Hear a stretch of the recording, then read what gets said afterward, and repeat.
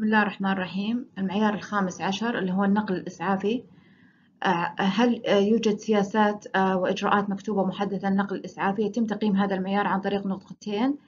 آه، هل توجد مستندات محددة للنقل الإسعافي؟ هذا التقييم الأول.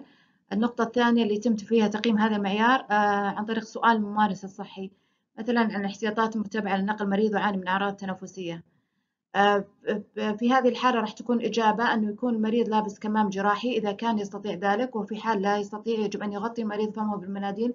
أثناء السعال وممارس الصحي يجب أن يرتدي كمام جراحي.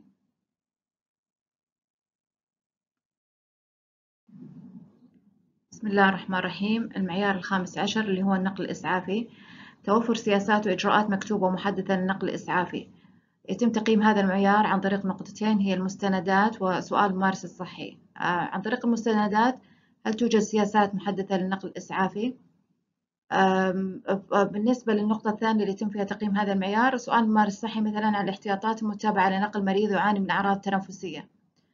آه، يجب أن تكون الإجابة على النحو التالي أنه يكون المريض لابس كمام جراحي. إذا كان يستطيع ذلك وفي حال لا يستطيع يجب أن يستطيع أن يغطي المريض فمه بالمناديل أثناء السعال والممارس الصحي يجب أن يرتدي كمام جراحي.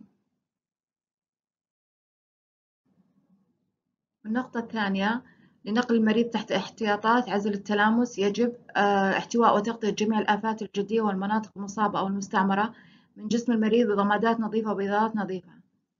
يتم تقييم هذا المعيار عن طريق سؤال الممارس الصحي مثلا آه، ما هي الاحتياطات المتبعة؟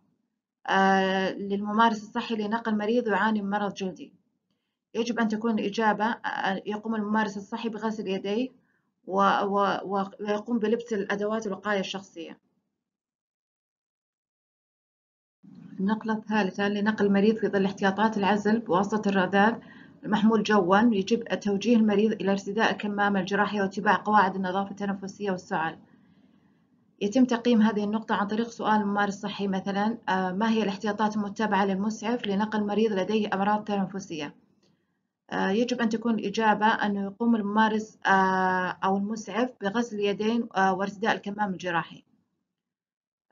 هذا في ظل جائحة كورونا. أما في بعد زوال الجائحة يكتفى فقط بلبس المريض الكمام الجراحي.